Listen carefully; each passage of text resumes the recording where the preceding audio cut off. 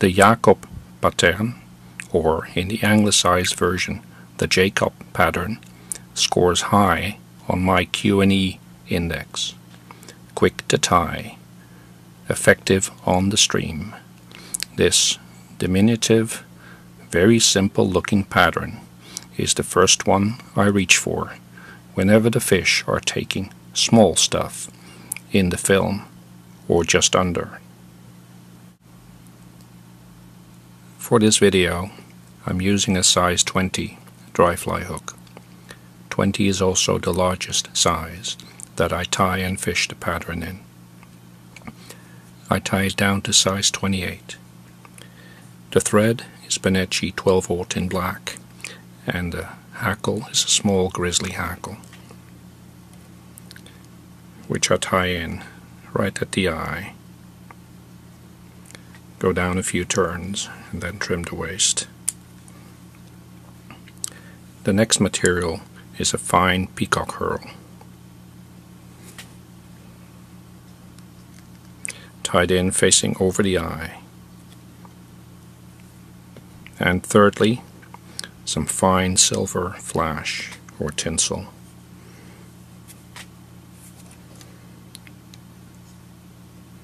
So lash down then the thread runs to the end of the shank and then spirals back towards the eye. Next wrap a slender peacock herl body.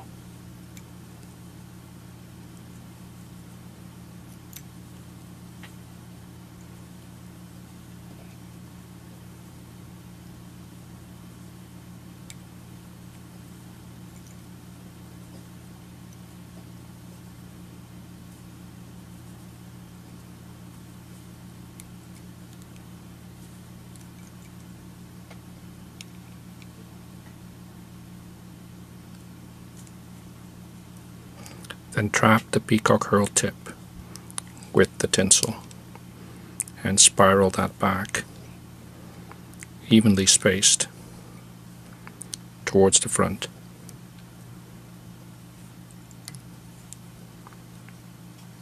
and tie it off.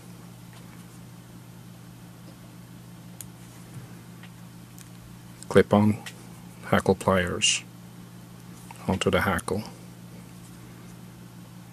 and wrap collar.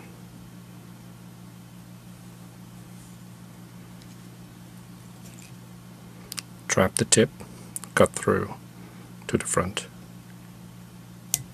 Snap away the tip.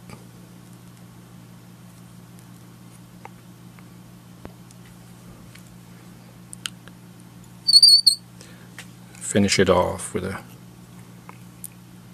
three turn whip finish.